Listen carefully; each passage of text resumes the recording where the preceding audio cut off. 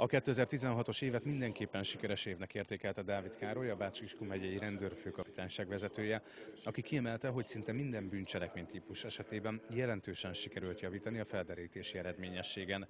Ez még olyan területekre is igaz, ahol korábban, 2014-ben vagy az azt megelőző években nem sikerült jelentősen csökkenteni a bűncselekmények számát. Kiemelt figyelmet szeretnénk fordítani a lakásbetörésekre.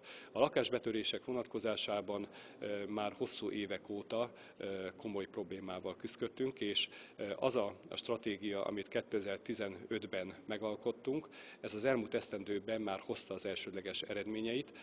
Hozzáteszem, ehhez rendkívül fontos volt a partnerszervezetek, valamint az önkormányzatoknak a támogatása, segítsége is. A lakásbetörések száma így megyei szinten 20%-kal csökkent, míg a felderítés 6%-kal javult, ami azt jelenti, hogy már minden harmadik betörőt biztosan nyakon csípnek.